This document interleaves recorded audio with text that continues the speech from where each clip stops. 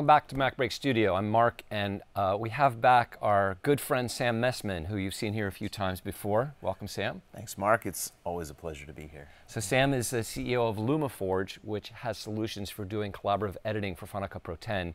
And Sam's going to show us uh, some really great things you can do in Final Cut Pro 10.3 relative to audio and role-based audio mixing. So I don't want to steal his thunder. I'll just let you take it away and show us what you got. So the the role features are brand new in Final Cut, but one of the questions, or I guess one of the things people ask is how come I can't mix with roles? And depending on how you approach compound clips, you totally can, actually. Yes.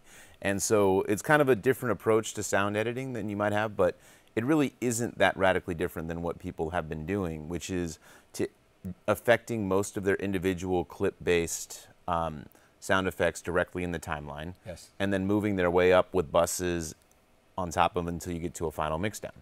And you can do all of that with the new role features in Final Cut. So basically, um, here's an approach that you might want to use. Great. And Let's see it.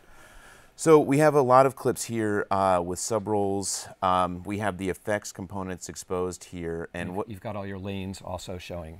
And one thing that you might want to do, for instance, is take a couple of clips and create a particular type of effect, such as reverb, reverb, etc., on mm -hmm. those clips. Um, and there's actually a way that you're going to do it. So I'm going to set this up here, and then we're going to see it in the next example how you okay. might do something like this. Because in Logic, you'll typically do uh, something along these lines, and um, it's not. It hasn't been as easy to do this in Final Cut.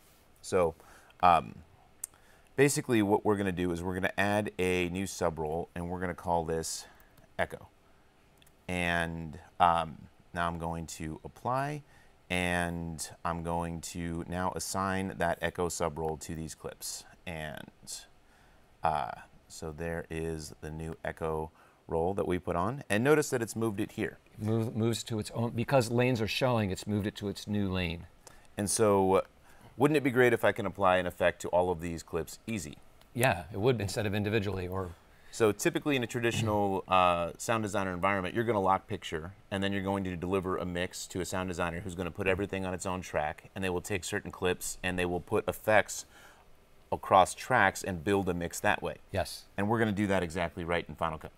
Okay. So now I'm going to control click this, and we're going to make a new compound clip. And so you did Command A to select everything. Yeah, so Command A. Absolutely everything in a compound clip. And now. I'm going to call this uh, Mac Break uh, submix. And I'm going to click OK. It's going to put all of these into a compound clip. Now you'll notice by default it puts all of these into roles. Into role components, basically, right? We have a we have each role all to, all bundled together. Now a feature that not that's not necessarily easily discoverable but is extremely powerful is I can actually break these out into subroles. You're revealing them in the inspector, yes. And now, so when I went into the inspector, I changed this to sub roles. I can change it back to roles easily. But in this scenario, I want to start with my sub roles first and gradually work my way up the mix. And then these are technically sub role components because each one contains all of the sub role clips that are assigned to that sub role in one single lane. Exactly. So now anything that was a part, if you shot multiple characters and you'd, you'd used iXML to have the microphones right. named that way, they'll automatically come into. into so all of Steve's mic is together, and all of Jill's mic is together in this in this example. Exactly. Yeah. So I, and now I can put a compressor on those, or I can EQ those particular character mics Separately. the way that I want them. Yes. And then build a mix that way. Yes. And so for in this instance, one use of this might be I want to put certain things and put an echo effect, and there's standard effects that I might want to put into a certain lane to affect a certain way. I can group those, and I, as I just did accordingly, and now I have an echo effect. All I would need to do now is go into the echo tab and put this echo delay on, and this is similar to how people work in Logic. Right, so now it applies it to all the clips that you assign that role at once. Exactly. Beautiful. Very yeah. simple. And because oftentimes when you do reverb and some of those effects, it gets lost at the tail end because the clip isn't long enough for that effect to continue. Uh, okay. This here, now reverb and echo is easy to apply. As long as your last clip isn't at the very tail of this. Exactly. Okay. Nice, nice. Okay, so where do we go from here? Okay, so now uh, an issue with this is if I was to flip these over to roles, it would apply all of those effects onto the overall roles because it would merge them down. If you collapse this down again. So once you've expanded and applied effects on individual sub-role components, you really need to stay in this configuration. But what if I want to do something where I apply this to all of the dialogue roles or all of the effects or all of the musics? Well, you can't. It would be one or the other. Except you can, and the, the approach to this is in, use two compound clips. And so we have a sub-role based one that we start with, and this is where you do sort of an overall mix on, on tracks. I'm sorry, guys, I'm going to say it. You, you make tracks out of these. Uh-huh. And then you make another compound clip.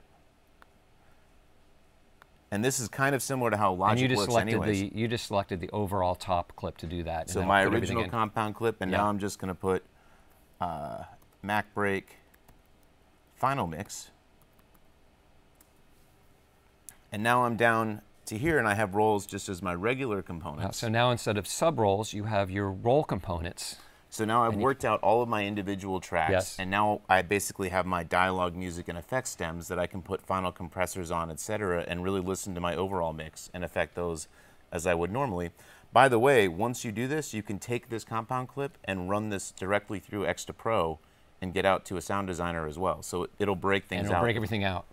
accordingly. This is tremendous. The idea that you could then you could do your submix, so you could take an individual person's mic and and EQ it, whatever you needed to do, apply effects, but then also go up to all the dialogue and affect all the dialogue, or all the music, or all the effects, or your example of this echo. And if I have a fundamental issue, I'm just going to double click here. I can get back to my submix or immediately get back to my individual clips and change picture, all of these other things. So the question is, what sort of workflows does this now open up and how often do I even really need to conform anymore and get out elsewhere? Wow. Wow. So it's kind of cool. Sam, it's it's mind blowing. I mean, that extra step of being able to do the submix and the mix all within Final Cut and be able to dive back in because you can still adjust anything. Yeah. At this point, fantastic. Picture changes are now really easy and it doesn't change anything else down the chain, really. Okay, so if this didn't blow your mind, you weren't paying attention. it's really great. So if you want to understand more about all of these features, we have Ripple Training Cut Pro 10 in depth. You want to check that out. And uh, we'll keep going here. Sam, thank you for coming on the show and showing us this really, really great tip. Always my Appreciate it. pleasure, Mark. Thanks for having me. All right, thanks for watching MacBreak Studio.